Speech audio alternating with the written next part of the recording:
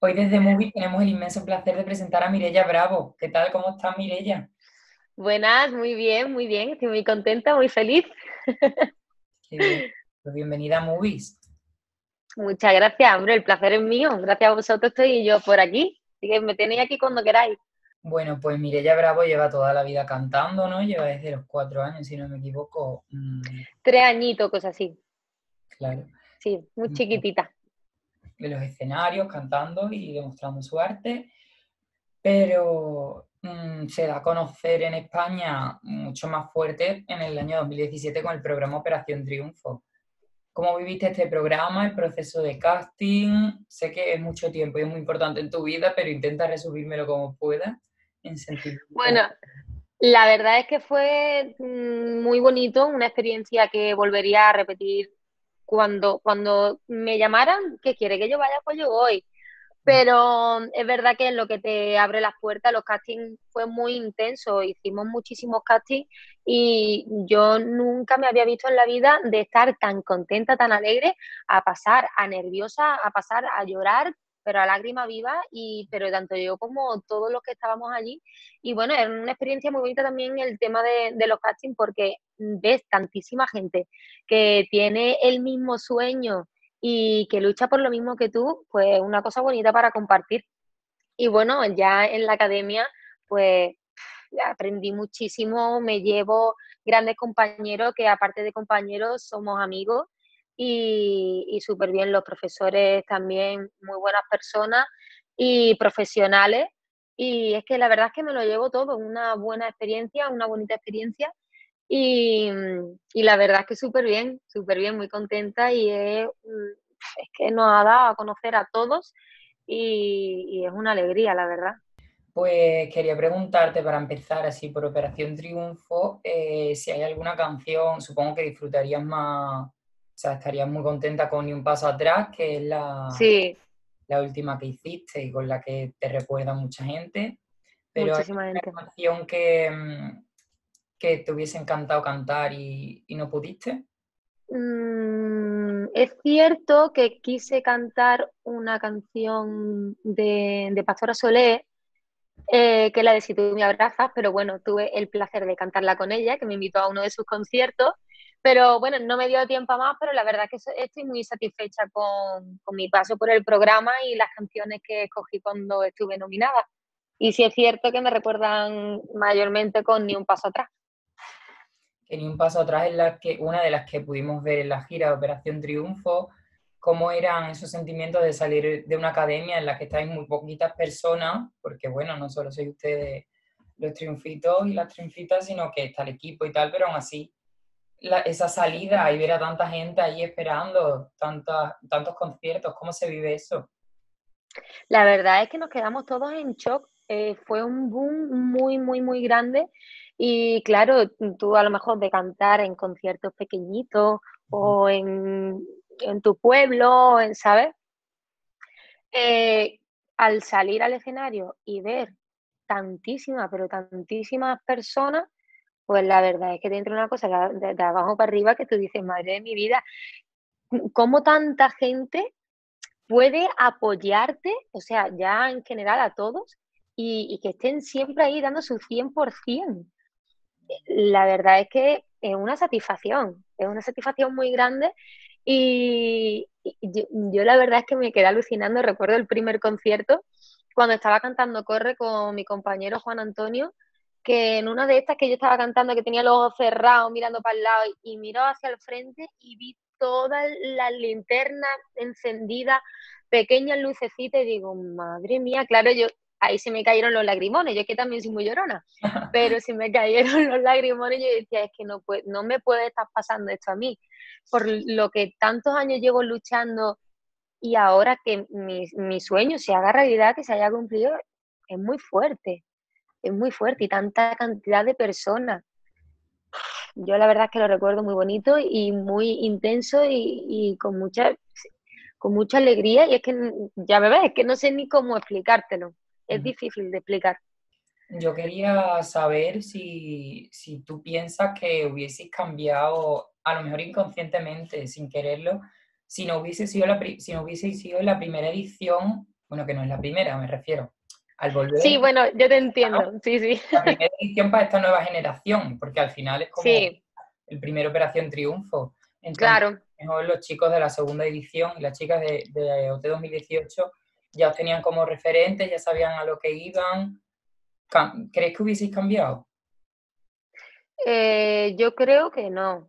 Yo creo que no hubiésemos cambiado porque cada persona, bueno, cada uno somos como somos y, no creo que hayamos cambiado. Es verdad que hubiéramos tenido una cierta idea de lo que iba a ser, porque nosotros entramos a ciegas, no sabíamos cómo iba a ir el programa, ni las clases, ni el formato, ni nada.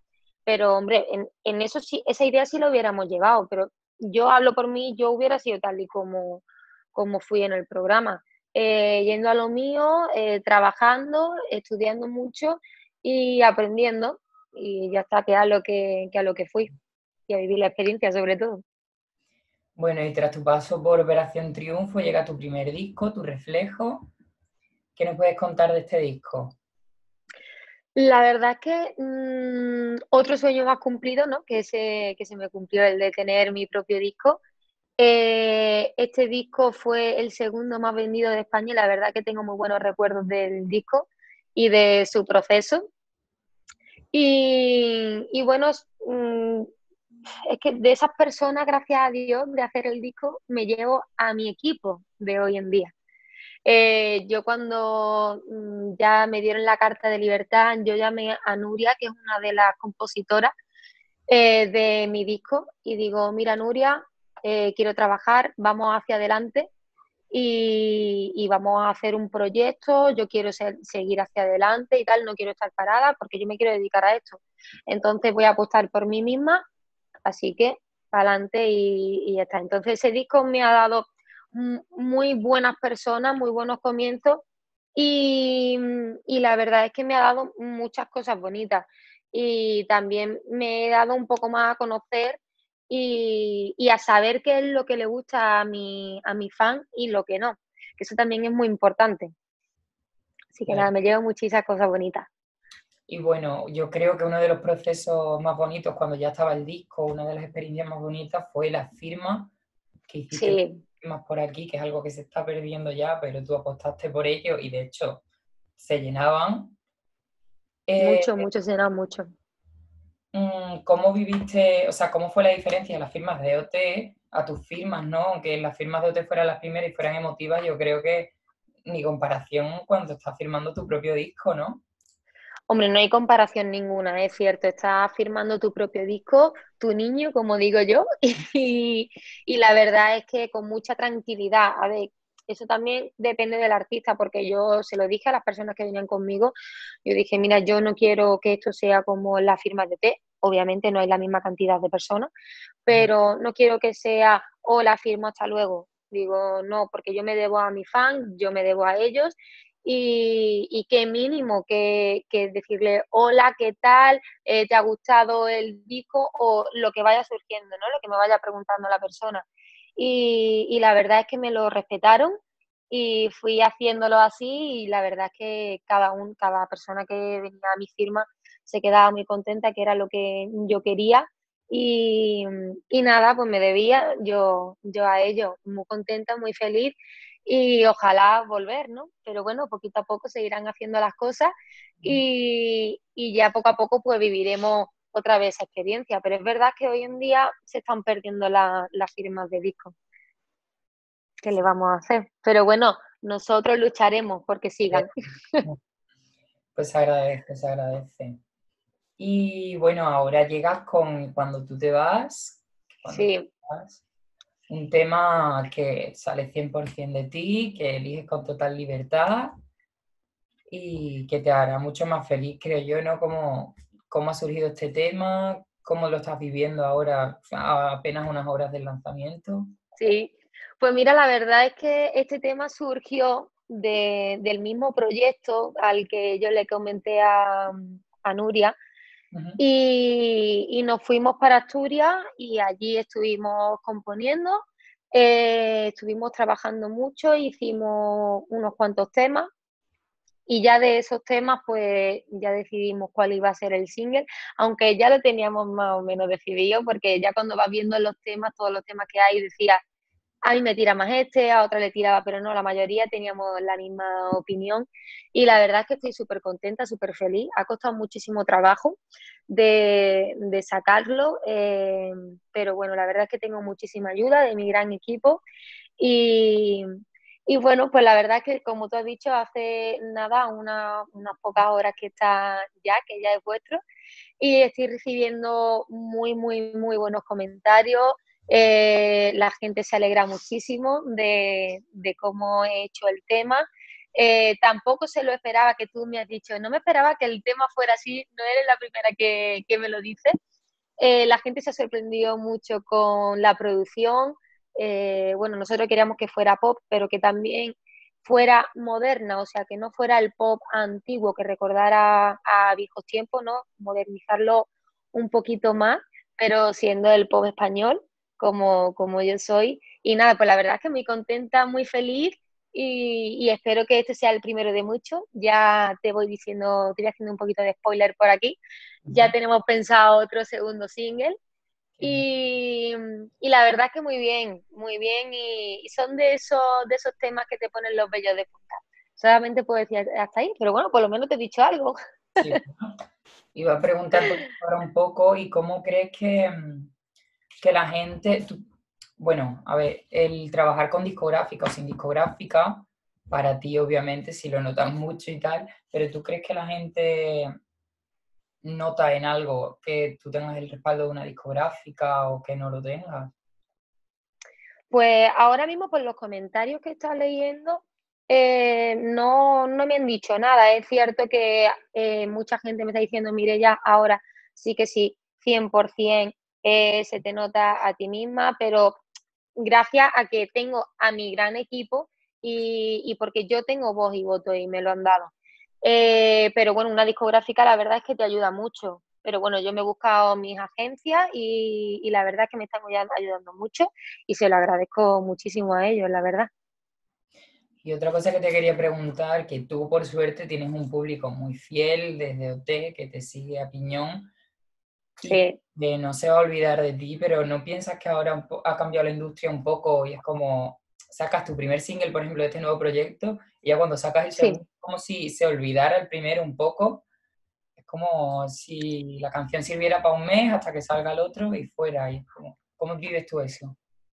Hombre, yo la verdad es que gracias a Dios que tengo a mi fan y después de dos años han seguido ahí fieles, que yo creo que no hay mejor demostración que esa, porque muchos pueden decir, bueno, yo creo que ya no va a sacar más nada, hasta luego, ¿no?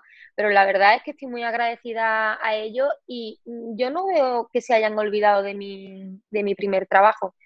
La verdad es que tengo esa suerte de que, no, de que no lo noto y además que me lo dicen, que no se olvidan y que ven mucha diferencia con el primer trabajo al segundo, pero es lo que yo te he dicho, me sirve, el primero me ha servido para aprender y, bueno, aquí está el segundo y este también me servirá para aprender. Pero bueno, gracias a Dios que no se olvidan de cada trabajo que he hecho y yo creo que eso es, bonito, la verdad. Mm.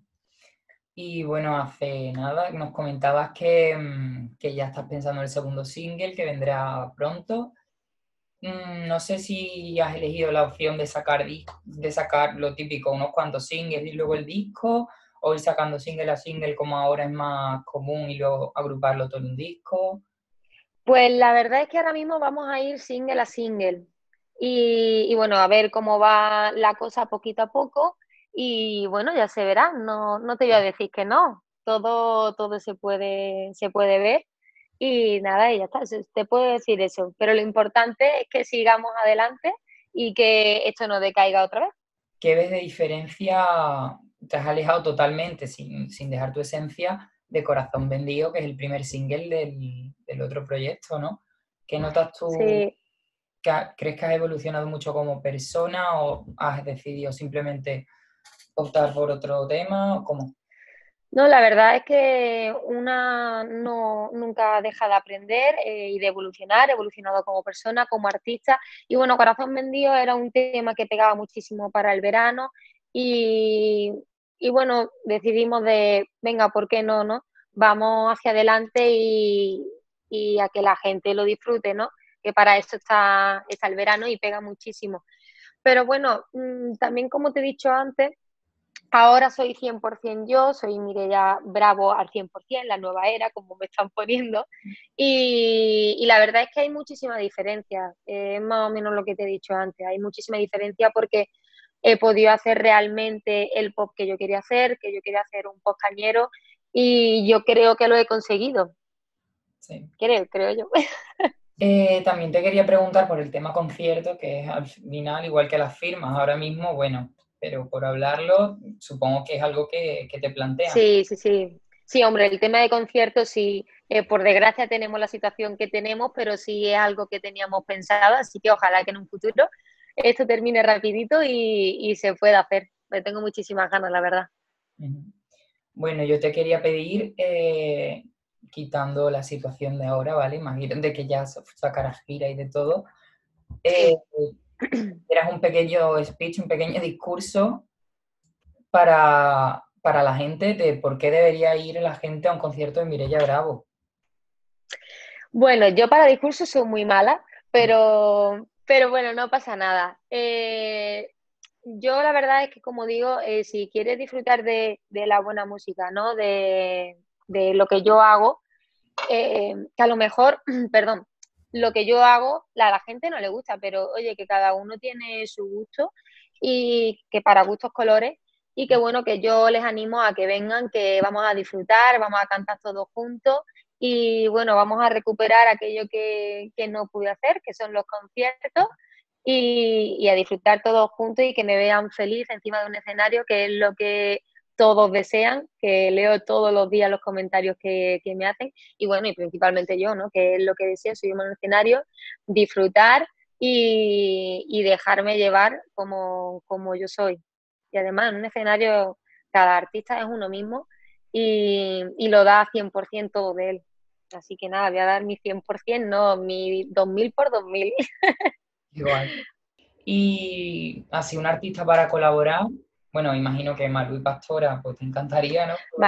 me encantaría, pero bueno, como me encantaría muchísimo, pero claro, eso tiene que caer y, la cosa está muy, muy complicada. Pero bueno, eh, yo no digo que no, yo me abro a, quien, a quien quiera, la verdad, y, las voces se complementen bien, pero hombre, claro, Pastora Solé, Malú, Pablo Lorán, yo no voy a decir que no. No sé si te has planteado, bueno, con este nuevo, o imagínate con el anterior, no sé si te planteaste o te estás planteando en algún momento ir a Eurovisión a representar a nuestro país con alguno de estos temas tan, tan cañeros que estás haciendo ahora. Eh, a ver, yo lo de Eurovisión nunca he dicho que no, eh, porque nunca se puede decir que no a nada. Y bueno, a ver, es verdad que es un tema muy serio en el que las cosas te lo tienes que pensar bien. Y bueno, la verdad es que allí te dan mucho a, conocer, eh, te abre muchas puertas, pero, pero bueno, nunca puedes decir que no a las cosas. Así que pues mira, si alguna vez surge, pues ya me lo ah. pensaría. Bueno, lo primero, sí, ¿qué canción podría escuchar sin parar, aunque sea hace 50 años, sea hace dos días? que no puedas parar de escucharla y tampoco te importaría seguir escuchándola para siempre. ¿Qué canción? Hombre, la que no paro de escuchar y que no me importaría escucharla hasta el fin de mis días sería la de Cuando nadie me ve, que también la canté en una de las nominaciones de OT.